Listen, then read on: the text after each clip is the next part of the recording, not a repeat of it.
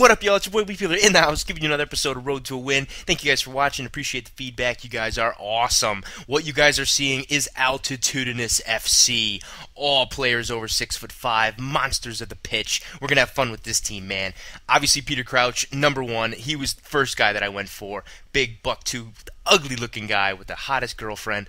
What's up, man? Thank God he can play football. Otherwise, he would be assed out. Cause, dude, six foot seven and looking like that. And this guy, dude, woof, man, you are ugly and creepy looking, but he's nasty. He's gonna score one of the best goals I've scored in FIFA 12 having an awesome time, man. This is a good series. Thank you guys for giving me the feedback that you're giving me. Thank you guys for building me teams. I'm having an awesome time playing with these crazy, wacky teams. Please leave a comment below.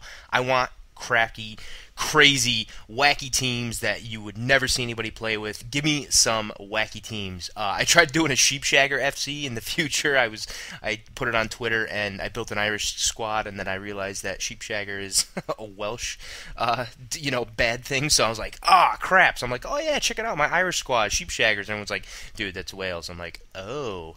So now I look like an idiot. So I made Leprechaun FC. That's coming up pretty soon. Should be pretty cool. All leprechaun, I mean Irish guys, so should be pretty cool.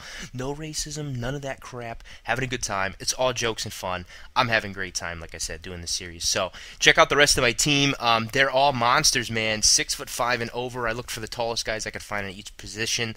The goalkeeper is a freaking monster, dude. Van Hout, look at this guy, six foot ten. That is sick, dude. Uh, he's like a foot and two inches taller than me, man. I'm only five eight, and I'm holding strong with that guy. Six foot ten, unbelievable. I figured any low shot he'd have no chance because he ain't getting down at all. But he was a good keeper for me. I will take it. So I jump into a game, try trying getting in you know, trying to find somebody with chem around me, jump into this guy, and he was uh, mostly, you know, bronze and gold mix.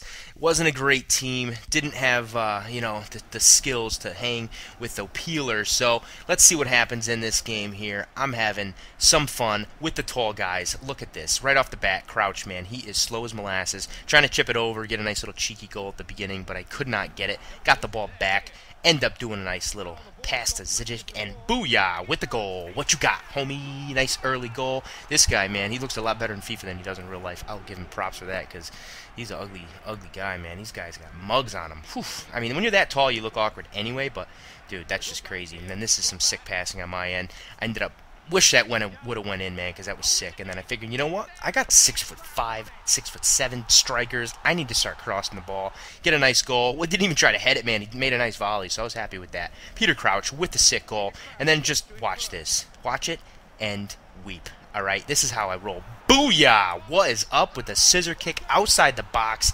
What a sick goal, man. I actually posted that up like a couple nights ago and I scored it.